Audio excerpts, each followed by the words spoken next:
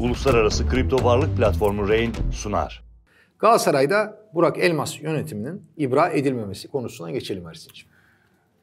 Senden başlayalım. Seninle başlayalım. Aa, yok, ben takip ettin ev mi? sahibi gibiyim. Yok yani. yok takip Böylece ettin mi? Ev sahibi olurum. Ha. Takip edebildin mi Galatasaray'ı? Yani 22 saati tabii takip edemedim. Benle mi başlıyoruz? Ya bir kere bu 22 saatte ben giden arkadaşları aradım. Serdar Ali'ye sordum. O hepsini takip etmiş.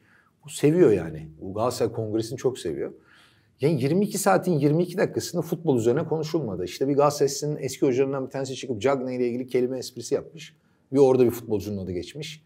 Ya ben bir kere bunları çok saçma buluyorum. Bu İbrahim'i direkt Galatasaray'da artık e, devamlı başkan değiştirmek için böyle bir demokrasinin kılıcı gibi. Halbuki bir demokrasi kılıcı olarak kullanmaları gerekiyor. Neyi? Futbol takımını. Sayın Başkan Elmas, siz bize küme düşme stresi yaşattınız birkaç haftalığına da olsa diye. Bir. İki. Bu takımın yakın zamana kadar en iyi performans sergilenen oyuncusu olan Jetson Fernandez'e transferde başarısız şekilde ezeli rakibimiz Beşiktaş'a kaptırdınız. Bu yüzden istifa etmelisiniz. Burak Elmas da evet ben bu hataları yaptım. Ben istifa etmeliyim. Gerçekten burada Galatasaray Spor Kulübü'nün çıkarları düşünülüyorsa ki diğer bütün branşlarda özellikle yüzmesi su topu son derece saygı duyuyorum hepsine ama öncelikle yani Türkiye'de bu kadar Galatasaraylı varsa bunun sebebi %99 futbol takımının başarıları. %1 diğerleri. Keşke küçük görmüyorum. Keşke tam e, eşit olsaydı. Ama ülkemizde böyle spor kültürü yok. Bu yüzden Galatasaray özelinde de bunu eleştiremem. Haksızlık olur. Ya bu futbol takımıyla ilgili kimin ne projesi var kardeşim? Yeni başkan adayları çıksın. Daha önce yapılan hatalar yapılmayacak. Burak Elmas ya da desin ki ben bu konularda hatalıyım ama ben devam edeyim. Hatalarımdan ders çıkaracağım desin. Bunlar konuşulsun ya. 22 saatte 22 dakikasında futbol konuşmuyorsan gerek yoktu yapmaya.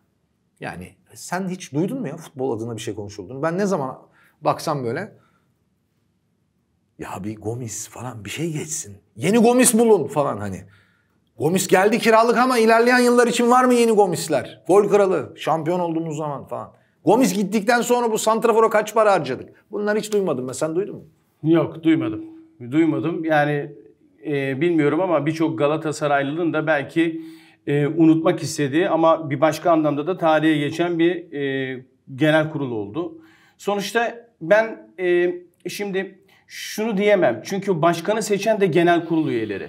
Neticede ibra etmemeyle beraber de seçime gitme kararını veren de genel kurul üyeleri oldu.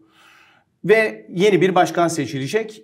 Mahkemeye başvurması bekleniyormuş herhalde Burak Elmas'ın. Ama ben böyle bir hata yapmasının kendisine en ufak bir fayda dokunacağını zannetmiyorum. Seçime yeniden katılabilme adına bir dava açma süreci katılsa dahi bu kez çok ciddi bir şekilde zarar görür. Yani alacağı oylar ve o süreçte çok zarar göreceğini düşünüyorum. Bence en güzeli benden bu kadar deyip hakkınızı helal edin dedi. Ondan sonra zaten bir daha seçim meşin falan filan işine girmemesi lazım.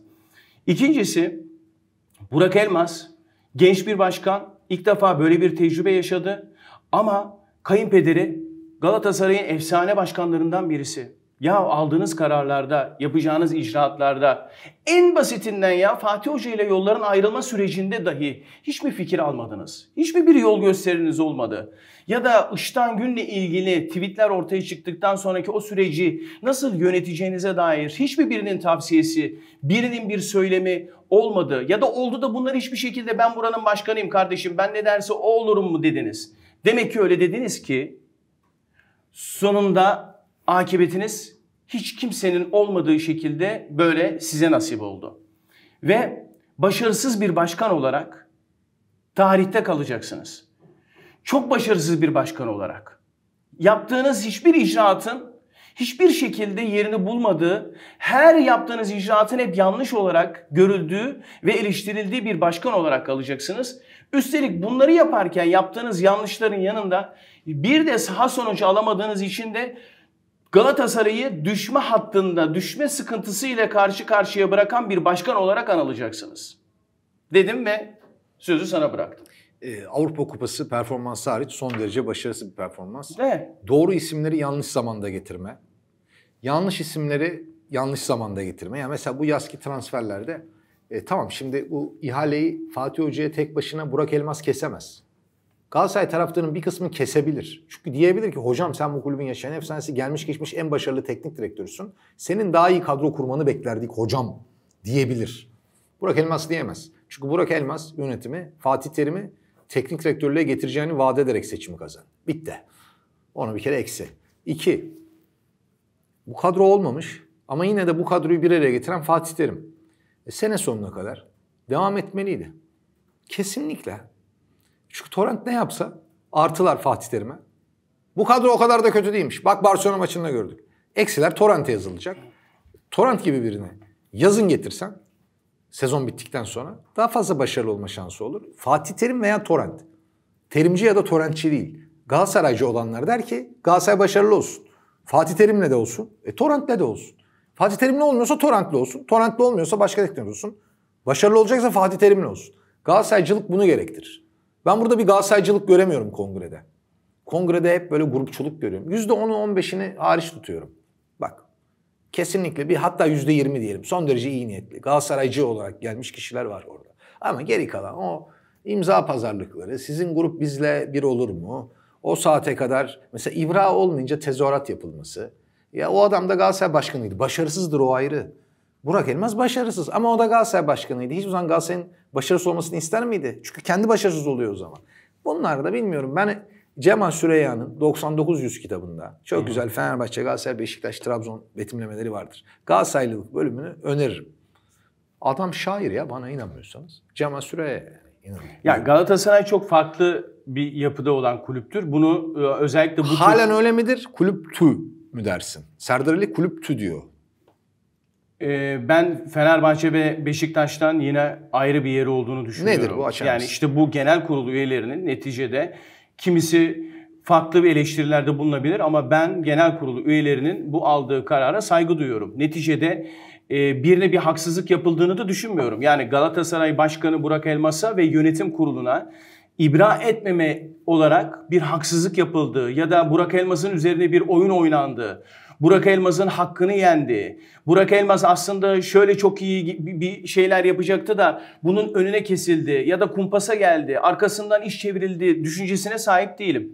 Özgür iradesiyle birlikte başarısız bir başkanın Galatasaray'a önümüzdeki dönemde daha zarar verebileceğini düşünen genel kurul üyeleri demokratik hakkını kullanarak başkan seninle yolumuz buraya kadar. Biz sana teşekkür ederiz ama böyle teşekkür ediyoruz. Kusura bakma bundan sonra bizim başkanımız olmanı arzu etmiyoruz dediler ve haklıdırlar da. Ben haksızlar Ha, demiyorum demek ki. istiyorum. Biçimini ben eleştiriyorum. Ama Ve Fenerbahçe'de başkanda da ondan önceki de İbrahim'in Fenerbahçe'nin- kılıcı gibi olmasına. Fenerbahçe'de de Beşiktaş'ta da bu olmaz. Olmaz. Olmaz. Orada da izliyoruz genel kurulları. Neler konuşuluyor? Galatasaray'da başka şeyler de konuşuluyor. şey, simit. Ben şunu söylemek Neydi o istiyorum muhabbet? Federasyonda masaya yumruğumu vurdum Fatih Hoca'nın Ha. iki maç ceza azalsın diye dediğiniz, siz dediniz Sayın Burak Elmas. Bu lafı söyleyen, masaya yumruğunu vuran, masayı hatta kıran bir başkan Fatih Terim'in arkasında o zaman E yani. öyle bir dururdu ki, öyle bir dururdu ki o zaman size hiç kimse hiçbir şey söyleyemezdi. Yani o gün masaya yumruğunuzu vurdunuz sonra Fatih Hoca'ya gönderdiniz. E nerede samimiyetiniz? Çok güzel soru. He? Yenisine geçebiliriz. Yenisine Önümüzdeki geçelim. haftalarda da konuşacağız zaten. Renk bu bir işaret. Uluslararası kripto varlık platformu Rain sundu.